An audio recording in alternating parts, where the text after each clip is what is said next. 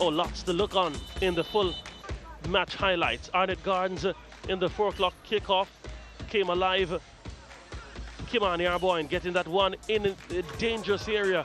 Chase Smith wasn't plugged in and he didn't connect as he should have. Great turn from Rashiki Kelson to release Warner Brown to open the scoring on the afternoon. At that time, it was the third for the season for the number nine from Arnett Gardens. Instinctive finish. And Carlos Robinson goal from Molynes. Seeing that one bulge the net. Great opportunity this from Molynes. Michael Graham turning the keeper again. But Shamari Dyer there on hand to mop up perhaps some dangers that he's, his misheader caused Arnett Gardens. Graham should have done much better. Look at this build-up play. Chase Smith to Warner Brown. Across the face of goal, the Sports at that moment. Kimani Arboin. Perhaps I'd have loved a, a more fancy dance as we've seen in price games from Kimani Arboin. But nonetheless, let's look on the beauty of the goal, the build-up play and all of that. Really something to behold. Warner Brown doing well to bring it across the face of goal. And they were rejoicing. Arnett Gardens, a two up at that time. Four on the season for Kimani Arboin as well. Jaheim Harris took a shot wide of the mark.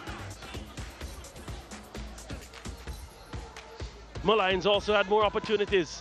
That shot from Mr. Dean Samuels. Arnett Gardens releasing that one to James Thomas was Marlon Martin. He fired just wide of the upright. Wasn't the first, the, the only time he fired.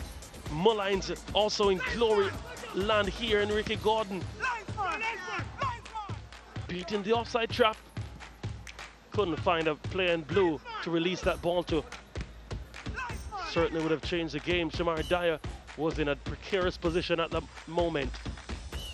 Ball to Jane Thomas. He fired. Carlos Robinson was happy to see it over, but he thought he had that one well measured. Good movement from Molynes until that over the top. He was in this despair all afternoon. Wonderful delivery from the corner. Kelson to Warner Brown.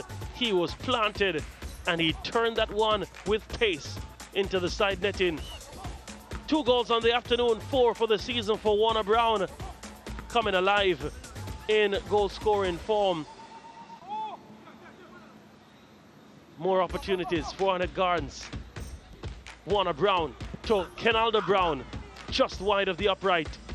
The substitute couldn't convert. And that was the end of the action. Stefan Duar saying goodbye.